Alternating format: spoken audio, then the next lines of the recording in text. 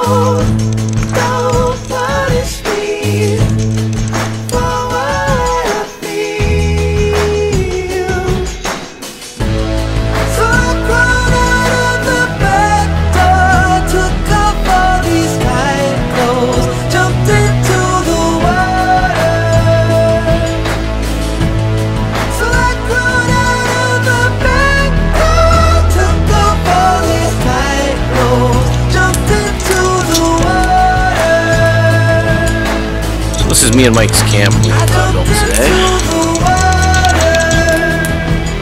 We didn't decide to build a big fire pit. We still got some covering to do in the shelter, but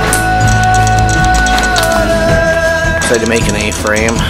Got the tarp inside. Uh, lots of room back there. Still have some filling in to do though. There's our giant uh, tinder fungus we found today. Quite nice. Really out in the middle of nowhere. Supposed to be watching the coffee, so can't talk too much.